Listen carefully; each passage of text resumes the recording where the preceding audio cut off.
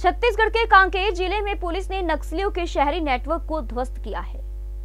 मोवादियों को सामान और पैसा पहुँचाने वाले रजनांद गाँव के ठेकेदार सहित पाँच आरोपियों को पुलिस ने गिरफ़्तार कर लिया है।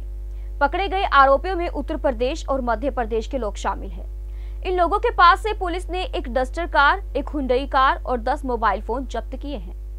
कांकेर जिला पुलिस अधीक्षक एम आर आहिरे ने पूरे मामले का खुलासा करते हुए बताया कि पिछले दो साल से नक्सलियों को यह लोग सामान पहुँचा रहे थे और लाखों रुपए की आर्थिक सहायता कर रहे थे।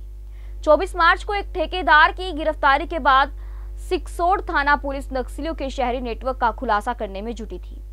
उन्होंने बताया कि लैंडमार्क इंजीनियर कंपनी बिलासपुर के निशान जैन और landmark royal engineer company Rajnandgaon के वरुण जैन के नाम से कांकेर ज़िले में पीएमजीएसवाई के तहत अंतागढ़ अंबावेड़ा सिक्सोड़ और कायलीवेड़ा और जैसे नक्सल प्रभावित क्षेत्रों में सड़क निर्माण का काम संबंधित फर्म को विभाग द्वारा दिया गया था। इस फर्म द्वारा रुद्रांश अर्थ मूवेंस के पार्टनर्स अजय जैन और कोमल वर्मा को अधिकार पत्र के माध्यम से काम करने के लिए दे दिया गया था। जिसके द्वारा अंदरूनी क्षेत्रों में कार्य करने के दौरान नक्सलियों से संपर्क और संबंध स्थापित कर उन्हें वर्दी, कपड़ा, जूता मेनपेक सेट, नगद पैसे और अन्य सामग्री सप्लाई किया जा रहा था। कांकेर पुलिस इसे बड़ी सफलता मान रही है। पुलिस का दावा है कि अभी भी इस मामले की जाँच जारी है और आगे आने वाले दिनों में और कार्यवाही होगी।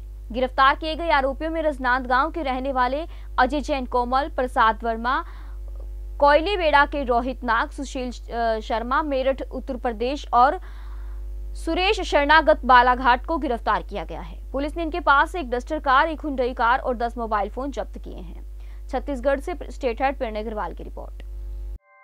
ऐसे ही लेटेस्ट खबरें पाने के लिए बेल आइकन को क्लिक कर हमारे चैनल को लाइक शेयर एंड सब्सक्राइब करें।